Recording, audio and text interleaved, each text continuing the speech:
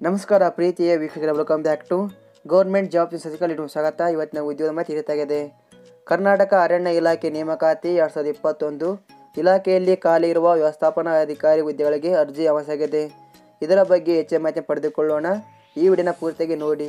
ನಾವು ಹಾಕುವಂಥ ಪ್ರತಿಯೊಂದು ಉದ್ಯೋಗ ಮಾಹಿತಿ ಮಲ್ಲಿಗೆ ಪಡೆಯಲು ನಿಮ್ಮ ವಿಡಿಯೋ ಕೆಳಗೆ ಕಾಣುವಂಥ ಕೆಂಪು ಬಣ್ಣದ ಸೆವೆಡನ್ನು ಕ್ಲಿಕ್ ಮಾಡಿಕೊಳ್ಳಿ. ಹಾಗೆ ಪಕ್ಕ ಬರುವಂಥ ಬೆಲೆ ಕೂಡ ಪ್ರೆಸ್ ಮಾಡಿ. ಇಲಾಖೆ ಹೆಸರು ಕರ್ನಾಟಕ ಅರಣ್ಯ ಇಲಾಖೆ ನೇಮಕಾತಿ ಹುದ್ದೆ ಹೆಸರು, ವ್ಯವಸ್ಥಾಪನಾ ಅಧಿಕಾರಿ, ವೇತನ ಶ್ರೇಣಿ, ಆಯ್ಕೆಯಾದಂಥ ಅಭ್ಯರ್ಥಿಗಳಿಗೆ ತಿಂಗಳಿಗೆ ಐವತ್ತು ಸಾವಿರ ರೂಪಾಯಿ ವೇತನ ಇರುತ್ತದೆ.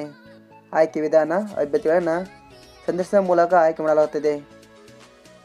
ವಯಸ್ಸಿನ ಮಿತಿ ಅಭ್ಯರ್ಥಿಗೆ ಎಪ್ಪತ್ತು ವರ್ಷ ಮೀರಿರಬಾರದು. ಒಟ್ಟು ಉದ್ಯೋಗ ಸಂಖ್ಯೆ ಇಲಾಖೆಯಲ್ಲಿ ಒಟ್ಟು ಐದು ಉದ್ಯೋಗ ಖಾಲಿ ಇವೆ. ವಿದ್ಯಾರ್ಥಿ ಅರ್ಜಿದಾರರು, ಸಹಾಯಕ ಆಯುಕ್ತರು ಹುದ್ದೆಯಲ್ಲಿ ಕರ್ತವ್ಯ ನಿರ್ವಹಿಸಿ ಈ ಕೆಳಕಂಡ ವಿಷಯಗಳ ಕುರಿತು ಪರಿಣಿತಿ ಅಥವಾ ಅನುಭವ ಹೊಂದಿರಬೇಕು.